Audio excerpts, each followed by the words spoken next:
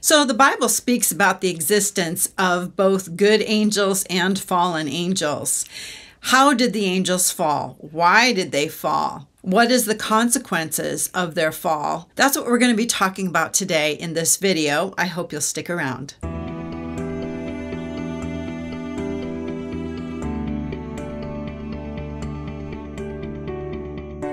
So, in part one of this series, I talked about false teachers. And one of the things that I noticed about the passages that talk about false teachers, especially the passage in Jude and also in 2 Peter chapter 2, is that they never specifically laid down any doctrine, particularly that people needed to watch out for. There are doctrines that are bad. And other passages address some of those issues of um, the Judaizers and Gnostic beliefs and so on. But these two passages that I'm looking at today and that I looked at in the previous video in Jude and in 2 Peter chapter 2 false teachers and fallen angels are talked about in the same passage. So they're interspersed. The, uh, the author will be talking about a false teacher, talk about fallen angels, talk about false teachers, more about fallen angels, and how there's uh, things that are kind of the same about both false teachers and fallen angels, and that primarily what we're looking at are character issues, not so much specific doctrinal issues. There are all kinds of errors in doctrine, but character, who you are as a person, how how you uh, live your life. This is a more objective way for people who don't know the answers to all doctrinal questions looking at someone's life and whether or not they have the fruit of the Spirit, they're walking in the power of the Spirit, or whether they're living a life of carnality, and worse yet, whether they're leading someone else into a life of immorality and carnality and uh, pride and so on. So the Bible talks about fallen angels, talks about good angels, and we know that in the beginning when God made everything, everything was good. There wasn't any bad angel. There weren't any bad people or fallen um, entities. Every single thing, every single being that God made, He made good. He didn't make any of them evil. However, we know that Lucifer fell, and I would direct you to watch my video on Lucifer and what made him fall uh, my thoughts on it anyway and um, you can check out that video if you want if you're interested. As humans uh, it's really hard for us especially as christians to understand how angels who regularly saw god how they interacted with him how how it is that they could possibly not want to be in God's presence or think that they could do better than God. This is really baffling, especially for Christians, until we start going a little bit deeper. Now, God wanted every cognizant, conscious being that He created to love Him. In order to truly love, you have to have the option to not love. And I've also talked about this in previous videos, uh, especially in the series uh, entitled The Plan. So, if we're created to be in a loving relationship with God, in order to truly have a choice to love, you have to have a choice to not love. The way God orchestrated choice was by creating a boundary. And of course, in the Garden of Eden, the boundary was the tree of the knowledge of good and evil. Don't eat from that tree. That was the boundary. You could eat from any, any, any, any other tree. Anything else was open for you. It was all fair game. But if you ate from this one tree, the day that you eat it, you will surely die. That's what that's what Adam was told. Now we know that Adam did not die on that day. I'm just going to do a little sidebar here about Adam and Eve in the garden. In Genesis chapter 2, we see the story of how God created the woman. And this woman actually is a type of the church who is being built. Before God created the woman out of Adam's rib, out of his side, he had Adam name the animals. And so Adam did. And as he's doing this, all of a sudden, he realizes that animals have mates and there is nobody for him. There's nobody. He is all alone. He is the only one of his kind. He's the only one of his kind. And this incredible loneliness, this feeling of lack is is becomes now a part of who Adam is as a person. This is like something that is all of a sudden the, at the front of his mind and this hole in his heart where he realizes he he's supposed to have somebody just like the animals have a mate. He's supposed to have one too. But where is she? Where is she? And so God causes a deep sleep, and this is a picture of death, of Christ's death, and out of um, Adam's wounded side, he takes a, a portion of Adam and then he begins to add to that rib and create the woman. And when Adam saw the woman, he said, This at last is bone of my bone and flesh of my flesh. He realized that this was his other half, that this woman was what was going to, in, in many ways, complete him and make him whole. And I don't want to say that this is exactly like Christ, but there is something about a longing in the heart of Christ for people who are going to be like him. Okay, people who will be glorified, people who will be brought into heaven and be like him. In Genesis chapter 3, though, the serpent comes and tempts Eve. Eve takes the fruit. She's deceived by the serpent into thinking that um, she wouldn't die, that she'd be like God and be wise and so on. And the fruit looked good and was looked like it'd be good to eat. And so she took it and then she gave some to her husband. And he ate. And the Bible attributes sin to Adam because he knew what he was doing when he took the fruit. He he knew what was going to happen. The sentence for crossing that boundary into eating from the tree of the knowledge of good and evil, the sentence was death. It was a death sentence. Now, a lot of us think that, oh, Eve should have just, you know, dropped dead at that moment. And Adam, too, they should have both just dropped dead. And that isn't the case. It was the death penalty that they would receive. Why would Adam knowingly take the fruit and in doing so, giving himself the death sentence? Why would he do that? Well, I have one answer, and it's just one, perhaps of many. But Adam would remember what it was like when he was all alone, when it was just him and nobody else. And then God creates this beautiful woman to be his partner. And it's wonderful. Life is great. It's good because she's there. And now she's eaten from the fruit and she is under the death sentence. Well, what Adam decided is that he would rather die than live a life without her. And in that way, too, I think that Adam is a type of Christ. That Christ demonstrates his love for us in that he was willing to die for us so that he could have us. So that's all a sidebar on this topic. But God wants us to have to love him. Jesus wants us to love him and love must be of our own accord it has to be freely given, and there has to be a way that we can get out of not loving God if we want to. And that goes for the angels as well. Love for God would be demonstrated by obedience to him. And mostly it's just by not doing something. In the case of Adam, just don't eat from that tree. You're good, you're golden as long as you don't eat from that tree.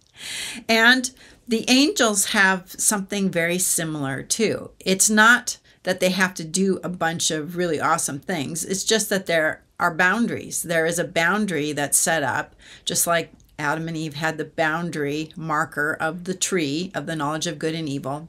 That's the boundary that if you cross it, it's the death penalty. And angels also have boundaries in their world, things they can't do, that if they were to cross over into another area where God drew a boundary line and they were to do that thing, then that would be uh, how they would show that they are in rebellion and how they don't want to love and serve and obey Him. And remember, Jesus said, If you love me, you will obey my commands. The commands are our boundary markers. Now, in the beginning, Christ was the one who created the world. God the Father and the Holy Spirit, of course, were working with Christ and they were all doing this together. This is all part of a common plan that they have. Colossians 1 15 and 16 tells us that Christ is the image of the invisible God, the firstborn of all creation. For by him all things were created in heaven and on earth visible and invisible, whether thrones or dominions or rulers or authorities, all things were created through him and for him.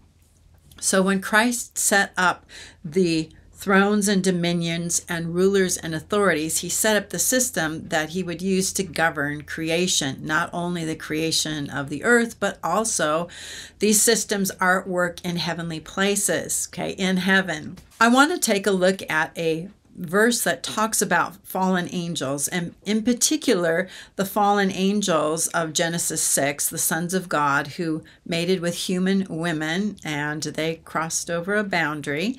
And those angels who did that are in chains in the bottomless pit or in Tartarus. Here's the verse that talks about overstepping boundaries. Jude verses 6, 8, and 9. And the angels who did not stay within their own domain, but abandoned their proper dwelling, these he has kept in eternal chains under darkness, bound for judgment on that great day. In verse 8. In the same way as those angels who abandoned their proper dwelling in their own domain, there are people who defile their bodies. They reject authority and slander glorious beings. And verse 9, we're going to talk about an angel who did not overstep the boundaries.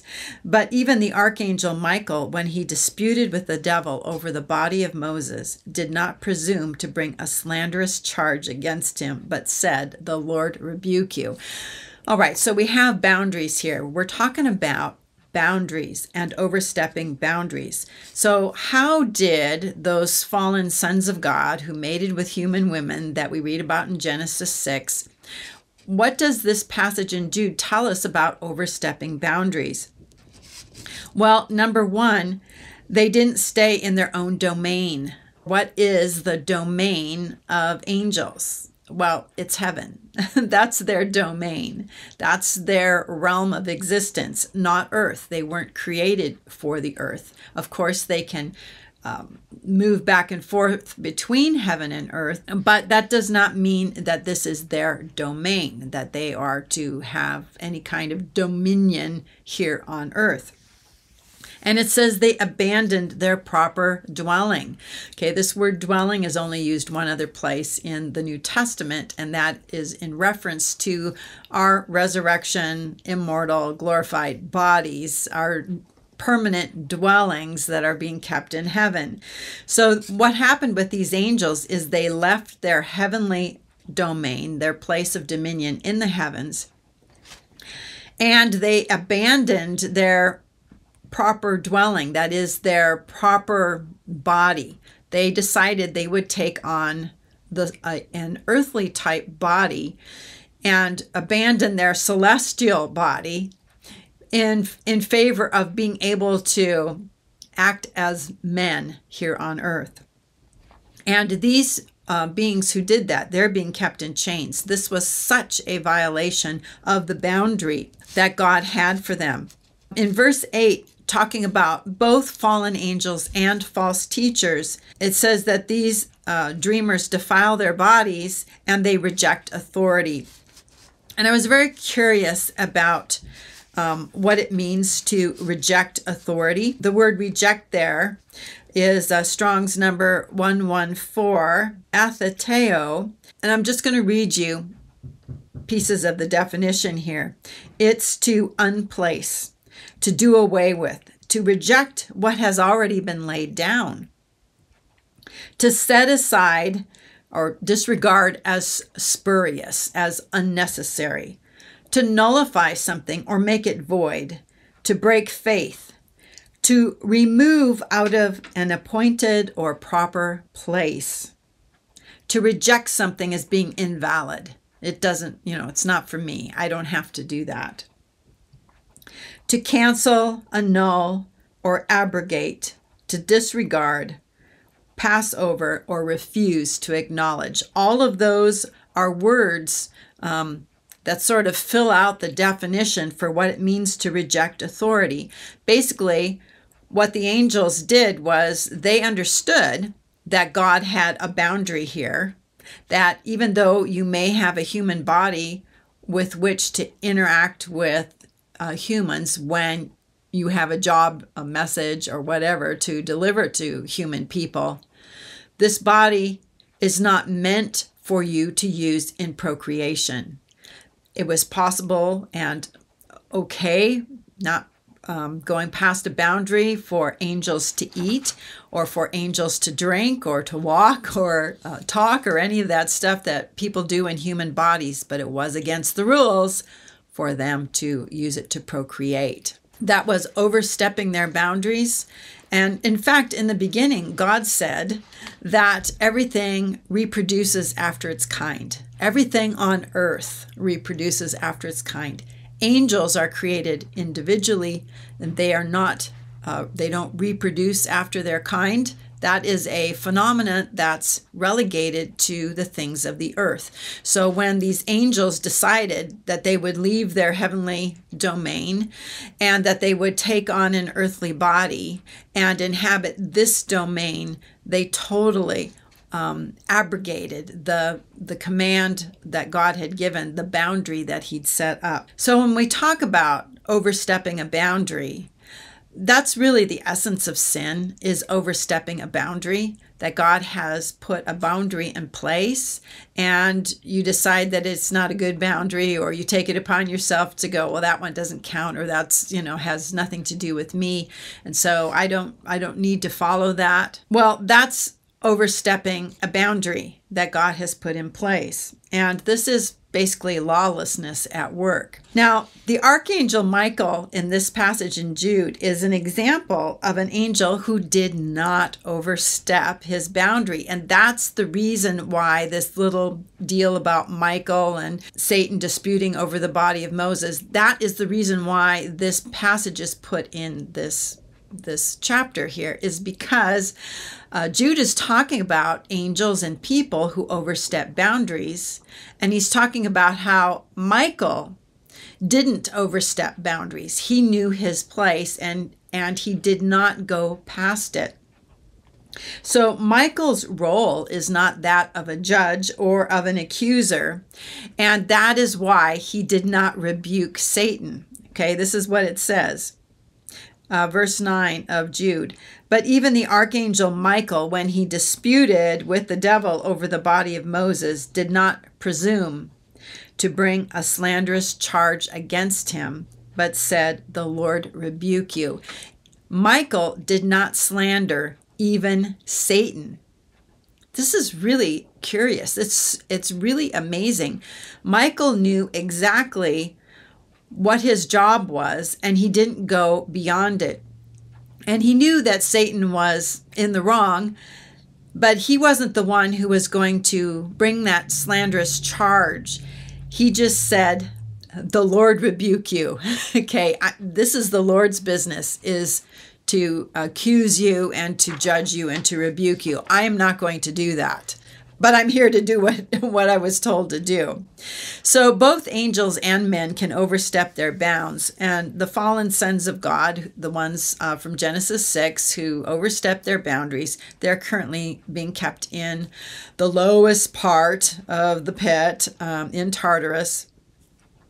And Satan uh, is also a fallen angel, and he overstepped his bounds. His um, authority originally was over the earth, to have dominion over the earth. And I've done a video on that in the um, Plan of God series. And so I'm not going to talk about that, but I go over all the scriptures that speak about how Lucifer was in Eden, the garden of God, in the beginning, that he was on the mountain of God, that he exercised dominion over the earth until he fell.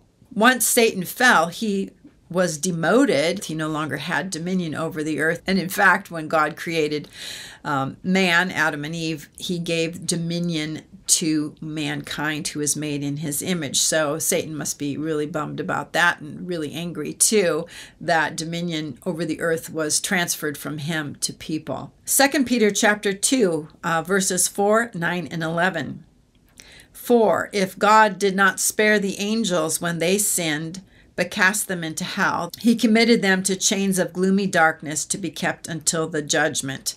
So when the sons of God fell and created all these hybrid non people people that were destroyed in the flood, God took those fallen sons of God. They weren't actually judged, but they were placed in a in a holding place. In verse 10, he talks about um, the specific sin of the fallen angels as well as false teachers and what characterizes them. Remember, it's not necessarily doctrine, it's about character.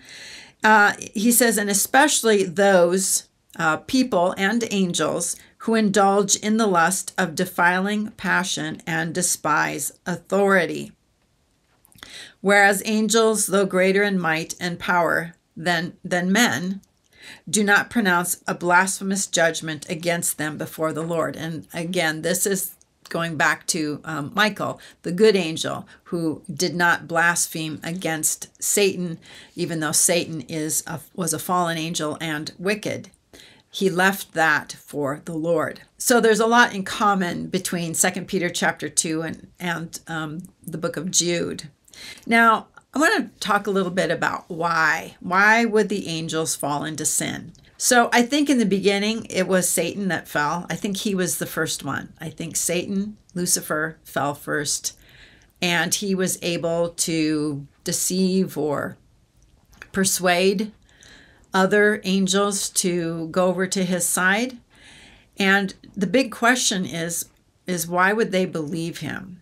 Why would why would they believe that Lucifer or Satan is the one to follow. Well, there's this passage that sort of came to mind when I was thinking about this topic, and that's Ecclesiastes 8:11. Because the sentence against an evil deed is not executed speedily, the heart of the children of man is fully set to do evil. Now, this is uh, talking about people and about how when people sin, they don't get the penalty right away. And because they don't, they think they just got away with something. And I think this is actually a, a principle of evil. It's part of the deception that goes with sin and evil and overstepping boundaries, is because the sentence is not executed right away. Satan wasn't cast into the lake of fire right away. Adam and Eve didn't die that day. There was actually a blood sacrifice that took their place. This animal that died so that they could be clothed, have atonement. Okay, something had to die on the day that Adam and Eve ate from the forbidden tree, and that was a substitute, a lamb. And they were clothed with the skin of the lamb. Satan and the fallen angels, they didn't have a, a, covering. They didn't have any kind of atonement for them. There, there is no way that that can happen for them because of the principles of um, how this is, was set up in the beginning of a substitutionary blood atonement, that the blood is what uh, pays for sin. And of course, angels uh, in their spiritual heavenly state don't have they they can't die. They they don't die. They don't have a body that has uh, blood and so on. So there is no covering for their sin. And when Lucifer fell, he wasn't immediately judged. He wasn't immediately cast into the lake of fire. Now questions arise about God. Certainly, he had the power to create everything, but does he have the power to hold it? Does he actually have uh, an intention to judge angels and put them into the lake of fire? Or is that just a lot of talk with no real teeth behind it? So I think these are all principles that that work not only in the earthly realm but also in the spiritual realm with angels that because Satan was not judged it may be that God has power to create but he doesn't actually have all the power that he needs to hold on to his creation it may also mean that God is unwilling He's unwilling to judge his creation, the fallen angels, and so on. Because Satan was merely demoted. He was demoted from being having dominion over the earth to being the prince of the power of the air. Okay, he, he got a demotion, but he wasn't he wasn't judged. He wasn't cast into the lake of fire. And this has been going on for thousands of years now where this is his position. And he may think, and this is part of self deception, he may think and have caused other fallen angels to believe the same thing that God either has no intention of actually judging them in the lake of fire or that he is unable to do that, that he doesn't actually have the power to be able to to do that. And in a, another video, um, I think expressing the inexpressible, I talked about how God ha- has parts of his character and nature that cannot find expression except that there are fallen beings. Like patience, for example. You don't have patience with perfection. when when it was just the Father, Son, and the Holy Spirit in eternity living together. Patience was a part of their nature, but it wasn't necessary because nobody ever did anything that frustrated anybody else within that divine community. And so patience only has meaning uh, as it comes to dealing with others um, who have issues, and we have to actually forbear them we have to set aside our own feelings of being frustrated or whatever and forbear. So, patience and forbearance, long suffering, uh, gentleness, kindness, and even self control. The self control that um, would, was required of God to not immediately execute judgment on Satan. These are all aspects of God's nature that only really can be expressed in a fallen world. And self control is a fruit of the Spirit. That means that God has self control. That means that there are things that He may want to do that He waits to do, that He exercises control over Himself to allow something to play out all the way to the end before he does what he's going to do. And these are all aspects uh, of God's character and nature that can be seen as being negative. Certainly, in the world around us, in a, in the fallen world we live in, if you don't, you know, fight back, if you don't push back immediately, or if if you're kind and you turn the other cheek, or you're willing to be wronged, people see that as as weakness. They see that as weakness. And that should give us a clue that this is probably a universal. That if men see this as a weakness in other men and even in God, that perhaps the fallen angels see it as a weakness as well. We know from what we read in the prophetic scriptures, Revelation chapter 12, that there is going to be a war in heaven between Satan and Michael. And we know that Michael and his angels are eventually going to win that battle. They're going to win that war. And for the first time since the fall of Satan, uh, who knows how many ages ago, Satan and his fallen angels will no longer be in heaven. Satan will no longer have access to the throne of God to accuse us before God. It will be, I think, a great relief for God and for the, the holy angels to finally have Satan and his group out of there.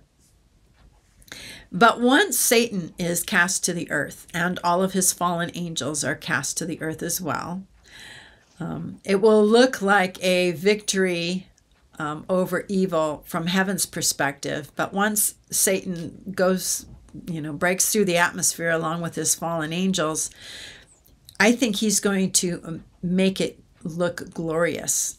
And I think he is going to take back the rulership the dominion of the earth through his false son, through the Antichrist, through the beast.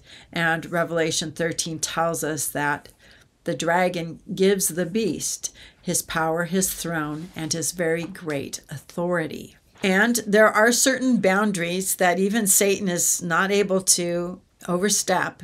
And one of those boundaries is that a man, someone who is um, a descendant of Adam, has to have dominion over the earth. And so um, that is the purpose of the beast, who is a man. He has the number of a man. He is also going to have the spirit of Apollyon. When the beast dies, when he's killed, and when he rises from the dead, he will be indwelt by the spirit of Apollyon, that angel who's the king of the angels of the bottomless pit. So he's, a, he's an extremely high status angel, and that angelic spirit is going to go into the body of the Antichrist. So the seventh king will become the eighth king when he rises from the dead. And then Satan will give this man, the beast, his power, his throne, and his authority. And uh, the dragon, Satan, will be um, the fake God the Father and the one who is in control of the earth. So, in some ways, Satan will have not only regained dominion over the earth through his um, fake son, the Antichrist, but he will be in the position of God receiving worship because people will worship the dragon, especially the earth dwellers, the, the hybrids will be worshiping the dragon. So, how this affects the end times is that we know that all of the fallen angels will be on earth, including the ones that are in Tartarus right now. They will all be on the earth in, in full display during the end times. And their goal is to be on the earth. We think that everybody and all angels should want to be in heaven, but for some reason, the earth seems to be the prize, and they want the earth. And that's what they are going to do. They are going to attempt to take over the earth and to hold it. Now, it will look like God has had the victory um, through Michael in heaven. And most Christians will already be in heaven. And actually, by the time the beast begins to reign, most people, just regular people, will, will be dead. A huge percentage of them will be dead. And massive numbers of them will have been martyred and be present in heaven. And because the population of the earth is so low, as far as people goes, it will look like um, the fallen angels can keep the earth, that this can be theirs, and that God has, you know, sort of divvied it up where, you know, the heaven dwellers, God and the heaven dwellers get heaven, and um, Satan and the beast and the earth dwellers, the non human hybrid types, get to keep the earth. Okay, now the thing is, is this was all made by Christ for himself and he wants it all and he has the power to um, subdue Satan and the all of his fallen creatures, fallen angels, and he actually has power and authority over death over death and Hades. So there's a lot of self deception that's going on with fallen angels, and it's the same self deception that we see with false teachers. It's an overstepping of boundaries, and it's characterized by a very willful abandonment of any kind of propriety or boundary. And there is a heavenly version with the angels, and it does have an earthly counterpart with false teachers. So I hope this provided some grist for the mill, some food for thought. And um, I hope you've enjoyed this series. And if you do, I hope you'll share it with somebody else and uh, give it a like and leave a comment. So we'll see you on another video. Till then, have a blessed day.